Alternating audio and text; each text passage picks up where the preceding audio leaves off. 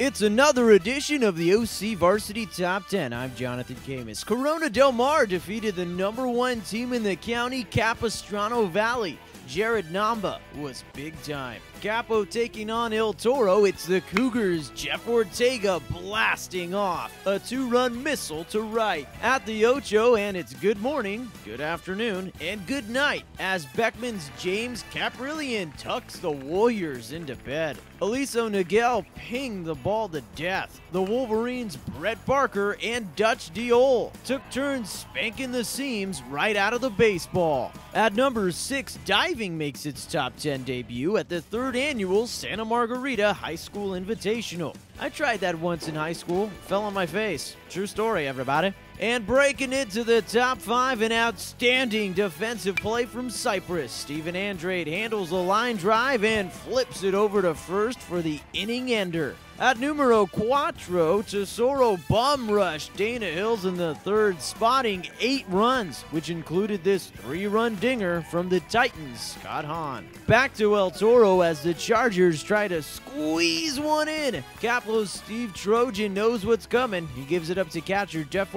Ortega for the out. At the runner-up spot, it's Cypress taking on Alemany in the National Classic. The Centurions' Troy Hennessey goes back, sticks his glove out, and makes makes the catch. And the number one play of the week goes to Dan James of El Toro. The first baseman makes a quick read, dives, and makes an outstanding catch in foul territory. So until next time, keep those clicks locked onto OCVarsity.com where we've got you covered.